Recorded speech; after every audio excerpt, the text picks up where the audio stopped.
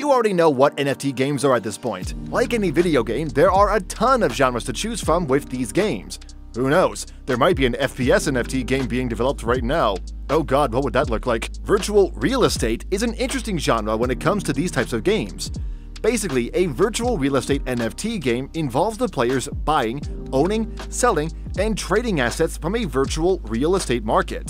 Think about simulation games like city building or city management games. Even something like a farm game can count as such. The methods of making money involve you selling those items that you may have. Different games have different approaches and styles, but the general theme is always there. That's why here at the Game Mag, we'll cover the top 5 NFT virtual real estate games that you might want to try out. Number 5. Continuum World Let's start with number 5, which is Continuum World. The game isn't out yet, but pre-registration is happening in case you're interested. Continuum World has some nice and cute graphics. It has that nice cartoonish visual presentation that you may like, or possibly despise if you don't like cartoons, you monster! But regardless, it's light on the eyes and won't take you out of the game. The gameplay mechanic is what you would expect, which is to farm and run things in your plot of land. That's how you get the ball rolling, which is to buy a plot of land available in the game. The game may be free, but you need to spend some money to get started. Buying land through Ethereum and perhaps other means later on is a must. Once you buy your land, that's where the magic starts to happen. There are a couple of things that you need to do, which is to farm some resources. Using said resources can net you some in-game money, which is also a way for you to make some money.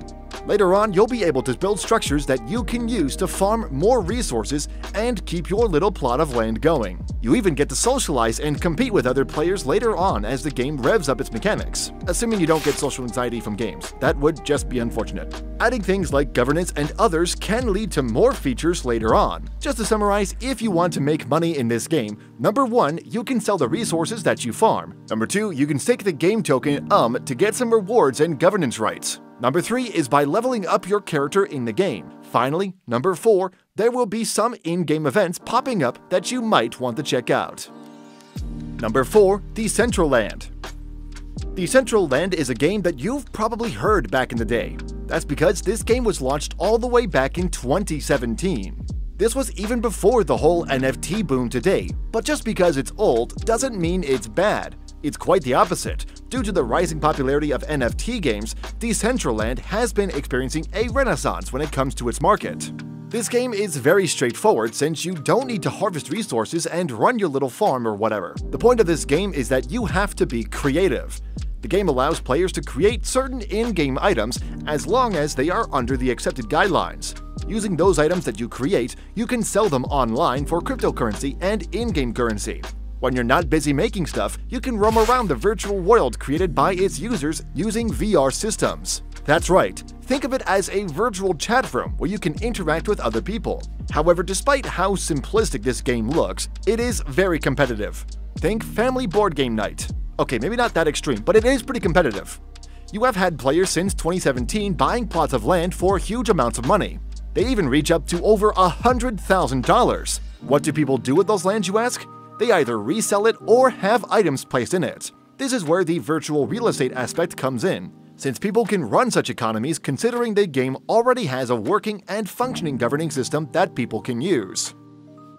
Number 3. The Sandbox The Sandbox is the next game we'll be discussing, and it is somewhat similar to Decentraland. You could even say it is just a graphical differentiation between the two. The sandbox functions the same where players can also buy plots of land available for sale. These lands are going hot and fast, and you can imagine how much money people are sinking into these games. The sandbox is also a game that allows people to create and design certain assets that can be sold in the game. The better you are making stuff, the more money you can potentially make. Then again, you have to abide by the game's rules since you can't just make some inappropriate stuff and sell them for a price. I'm looking at you, XX Noob 69. I know what you were trying to do last time, and that will not happen again. Competition is also stiff, but if you're confident in your skills, then you can make it. What are these in-game assets that you're wondering about? They could be anything ranging from clothes and cosmetics that your characters wear to things that can be placed in different areas. You can even have some decorations and infrastructures placed. The social interaction is still there, where you can mingle with other players when you're not busy making things.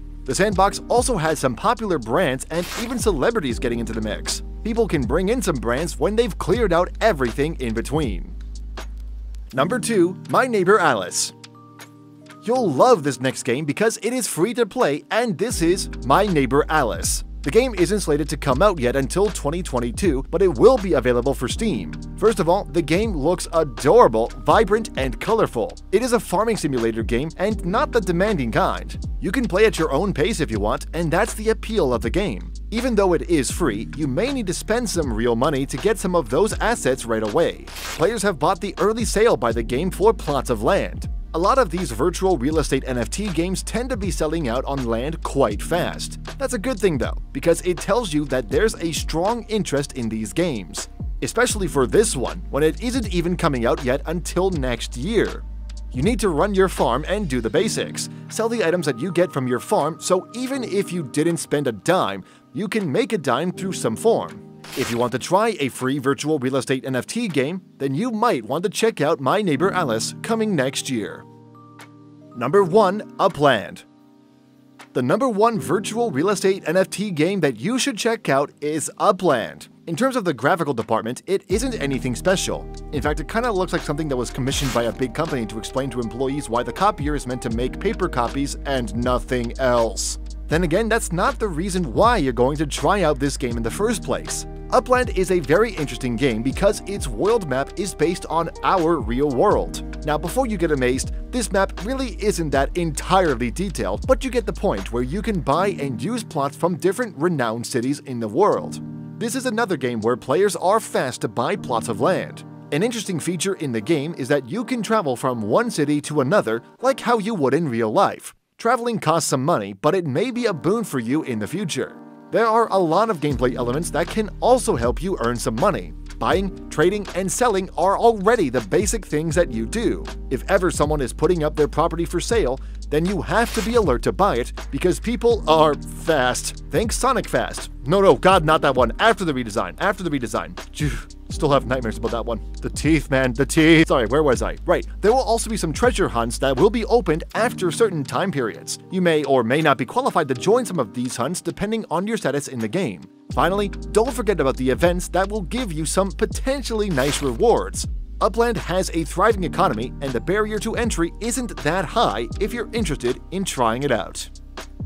Now that you've got an idea which games are good for you, would you like to start playing any of them? Did any of these games catch your interest, especially if you like these type of games? For more gaming content, tune in to the Game Mag after you've hit that like and subscribe button.